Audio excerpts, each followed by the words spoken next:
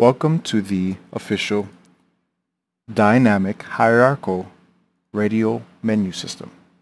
I know it's a mouthful, but it, there's a reason for it. now, first um, I'm going to show whenever I fire, I just fire one orb per tap. Um, by the way, this works with both a mouse and a controller. I already have it fully set up, so that is hopefully minimal scripting for you.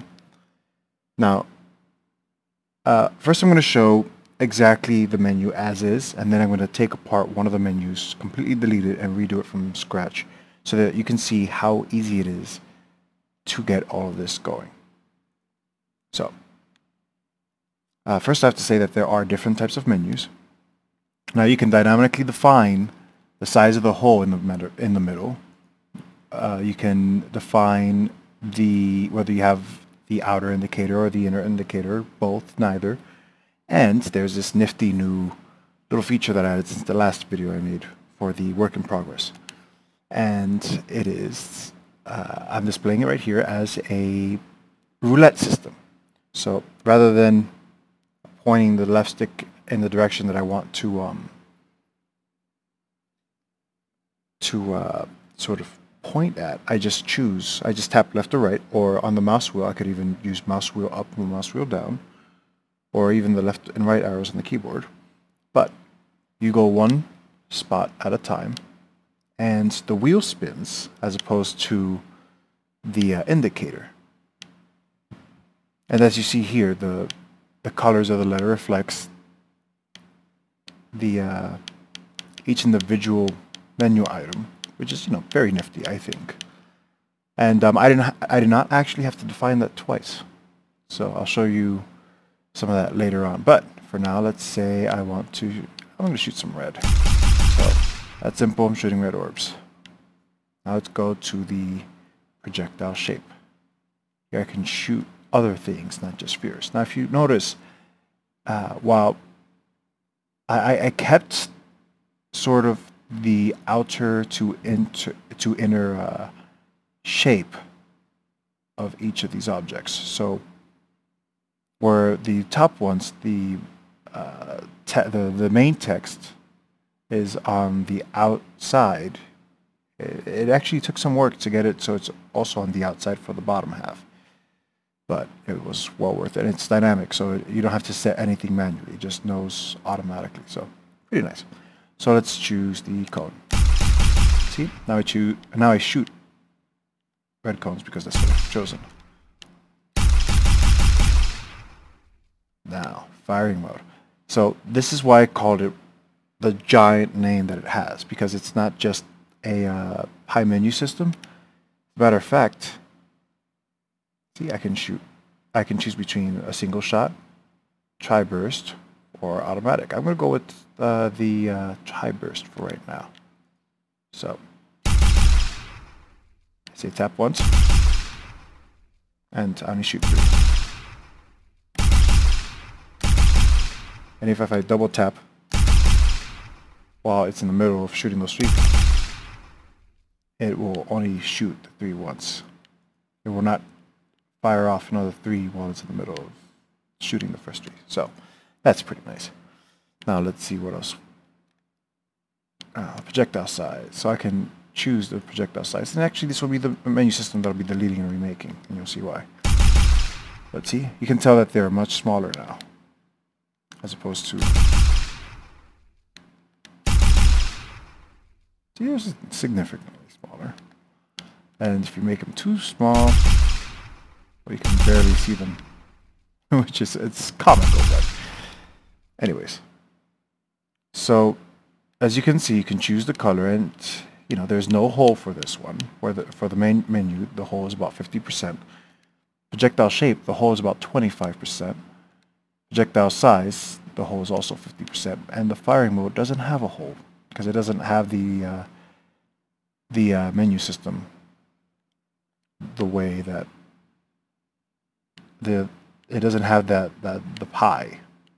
So it's just uh, single categories, and they're all individual. So yeah, it's pretty nifty, I think. Now, let's get to actually uh, disassembling one of the menu systems so you can see how easy it is to, to take it apart and pick it back up. So first I will say that before I show off anything um, specifically that I am going to uh, oh here I'll just show you guys. So what I'm going to be deleting will be the pie menu size. So I'm going to delete that.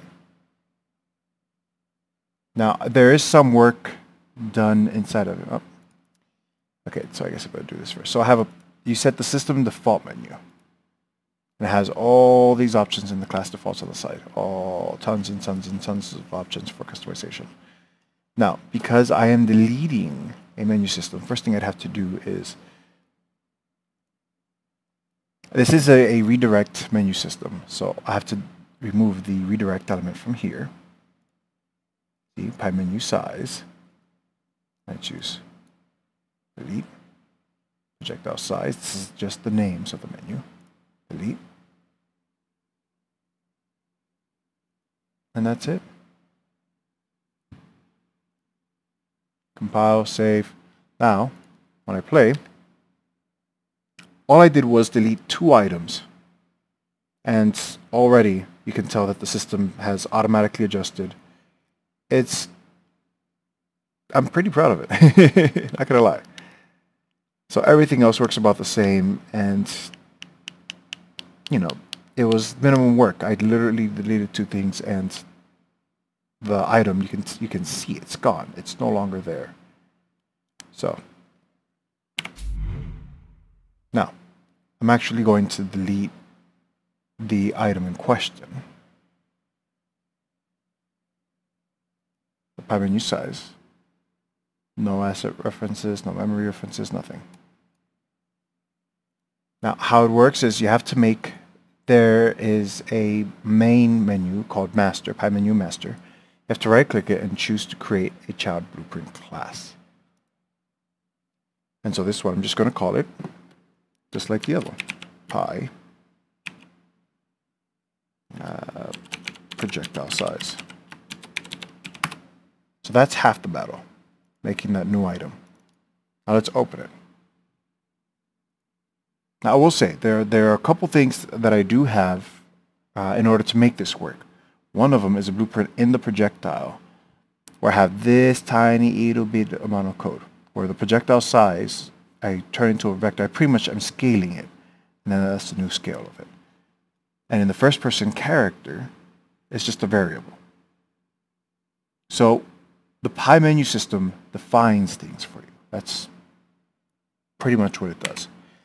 So instead of you having to go in and define everything manually, you just choose to define it yourself. Now, this is the Pie, Pie projectile size. I'm going to go to class defaults, menu item, menu names. There's no elements in it. Menu system parent. This is an important one. We want to set it so in case someone decides to uh, get go back to the previous menu, which can be done with the uh, uh, I'm using an Xbox controller, so I do so excuse me for it, but I, I press the B button on the Xbox controller and it takes me back to the parent menu. So you do have to set that if it's a, a parent item. So uh, this is the menu default. This is the parent. Parent. So I'm going to set that as the parent. And Menu names. So this is what we're going to call the different menu names. I'm just going to make it six items maybe. That should be enough. Let's just do 50%. 75%, 100%, 125%, and 150%. So we don't need that last one. Now, as far as getting it ready, this is the first half of it. You do have to make your own variable, and in this case, you have to. You, you always have to know what that variable will be. So I'm going to call this um,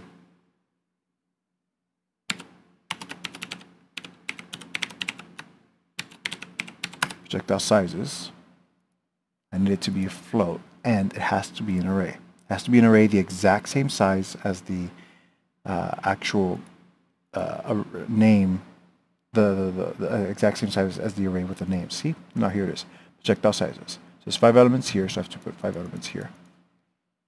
So 50% is just 0.5. 75% is 0.75. 100% is 1.0. And then we have 1.25 and 1.5. Compile, I'll save. And now we ha what we have to do is we have to, this is something you always have to do whenever you make a new menu system. Now for the redirecting ones, they're pretty simple to take care of, but for anything that's going to be a result of a redirect. So we can't make a redirect to the project, uh, projectile size menu until the projectile size menu is ready. But for these executable menus, all you have to do is uh, look for the item inside the uh, uh, menu master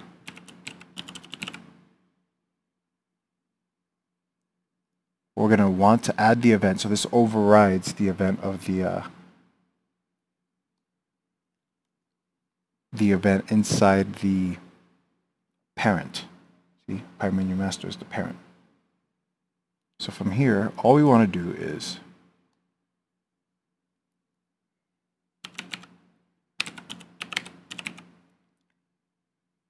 the first person character, he has the variable for projectile size. Connect the execution pin from one to the other.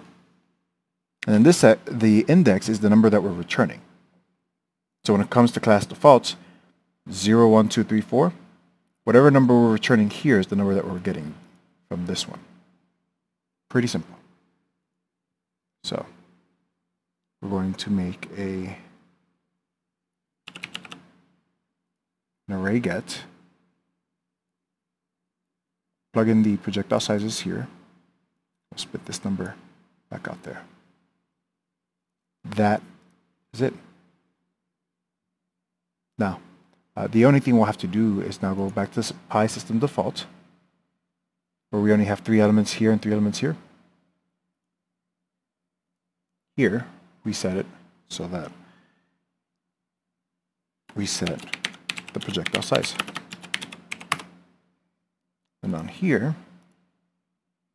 we choose that particular item. And that is it.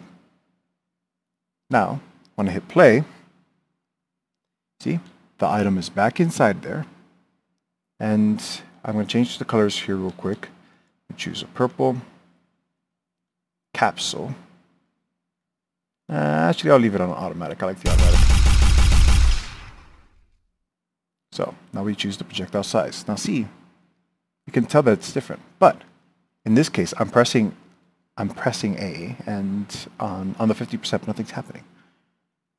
I'll go back a couple times to exit the menu completely. It did change, but I did forget an element. And that element is that as soon as it's done this, we want to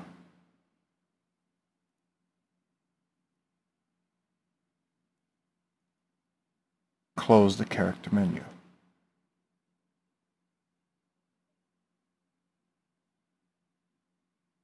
See, target is Pie menu master. And all we need, see, wrong one. All we need to know is this.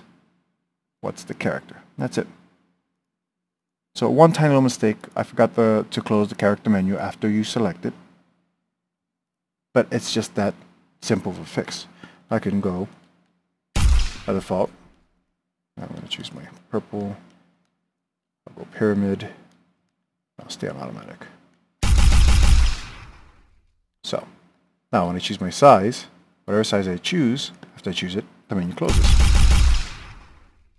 That's 50%. Let's do 100.